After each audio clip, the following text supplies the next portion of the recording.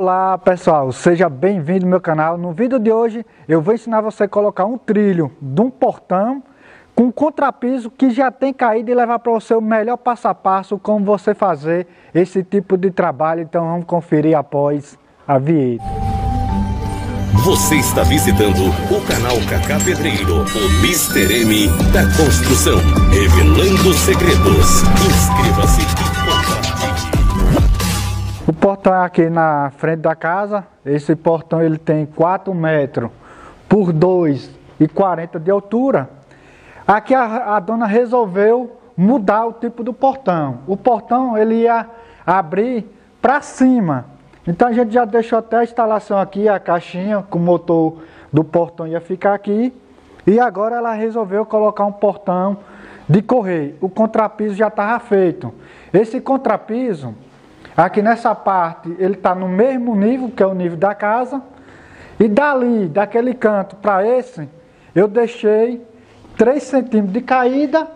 E daqui para aquele canto, eu deixei 2 centímetros. Então, daqui, de lá de cima para cá, ele está com 5 centímetros de caída. Então, toda a caída da deságua da água, ele vem para esse canto e daqui já sai na rua. O que é que você tem que fazer? Aqui a gente já mudou a instalação. Eu já coloquei o conduíte aqui com fio. Já trouxe para cá. Colocar o trilho no lugar. É, fazer todas as cavas é tirar o nível. Então já tirei o nível aqui, o outro lá no outro canto, para você saber que o trilho está no nível. Porque esse trilho aqui ele tem que sair é, nivelado e alinhado para o portão ficar certo. Aqui a gente já inteirou o resto do contrapiso. Eu coloquei uma linha daqui de fora a fora. Coloquemos a régua para ficar aqui o pedaço do contrapiso alinhado pelo reboco.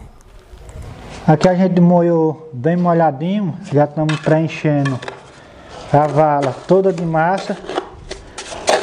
Uma massa forte.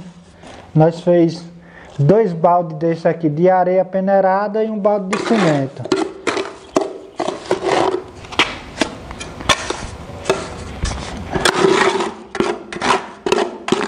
preenche todo, que é pro trilho já ficar bem apoiadinho.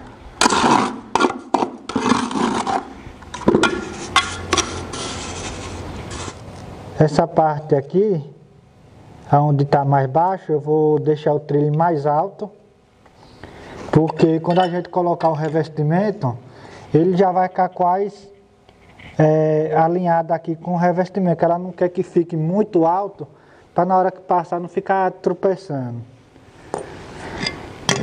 Então a gente vai medir aqui quanto foi que deu. Aqui deu 94. Então a gente tem que deixar lá também com 94.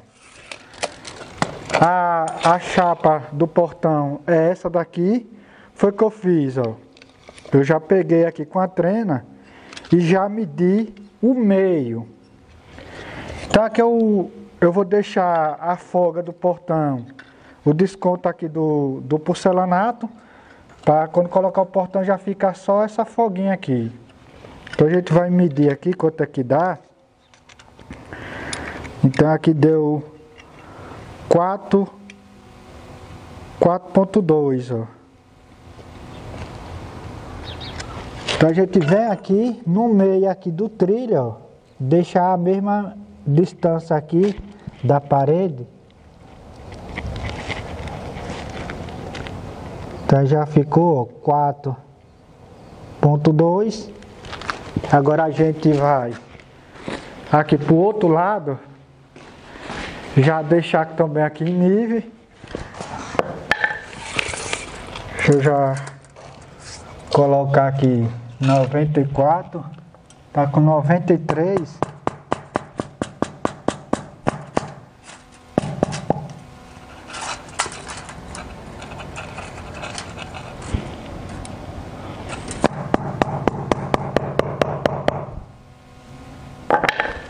Tá aqui, ó, já ficou no nível certinho, ó.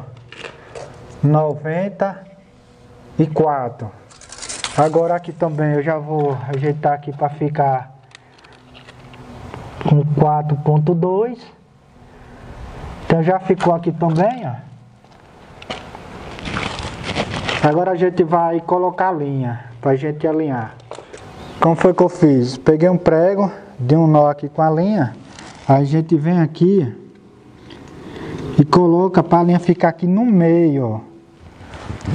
Aqui é bom sempre ter a ajuda de outra pessoa, mas para a gente fazer, gravar, só ter eu e o Rubinho. Então dessa forma também fica fácil. Sempre ficar conferindo, a gente terminou, mas a gente vem, só conferir 94. A gente confere aqui também. 4.2. Agora a gente vem aqui do outro lado. Faz a mesma coisa. Então, deu 94 também. Aqui, ó, 4.2. Como o reboco aqui tá alinhado, então qualquer lugar que você colocar treino, ó, bate certinho, ó. Fundamental também você deixar o trilho alinhadinho, tanto aqui no meio, ó, por a linha, como aqui embaixo, ó. Ele tem que ficar aqui entre uma folha de papel, porque se você às vezes deixa fora da linha, o portão vai ficar tripidando, porque algumas partes vai ficar alta, outras baixas. Então, o fundamental é você sempre deixar na linha e no nível. Sempre manter a linha ainda no, na hora que você estiver fazendo o acabamento, porque às vezes você pode bater, pode sair do lugar e com a linha você sabe que você está indo certo. Então só tirar na hora que terminar o trabalho. Limpar o trilho também com a buchinha para não ficar sujo. Então confira como foi que os portões ficaram, todos dois, todo de alumínio, muito bonito. Cada dia que se passa a casa está ficando mais bonita. Aqui na parte de dentro, só está faltando agora instalar aqui o motor.